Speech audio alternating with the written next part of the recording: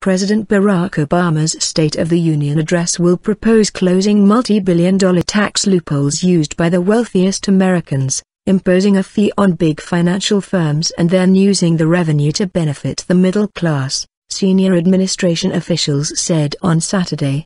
Obama's annual address to a joint session of Congress on Tuesday night will continue his theme of income equality, and the administration is optimistic it will find some bipartisan support in the Republican-dominated House of Representatives and Senate.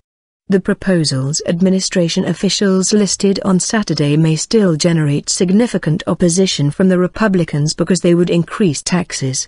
In a conference call with reporters to preview the taxation aspect of Obama's address, one official said some of the ideas the president is outlining already have clear congressional bipartisan support or are ideas that are actually bipartisan in their nature.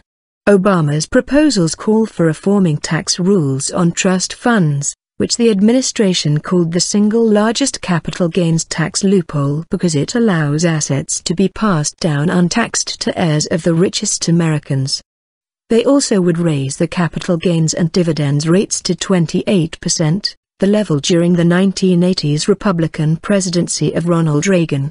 As a way of managing financial risk that could threaten the U.S. economy, Obama also wants to impose a fee of 7 basis points on the liabilities of U.S. financial firms with assets of more than $50 billion, making it more costly for them to borrow heavily.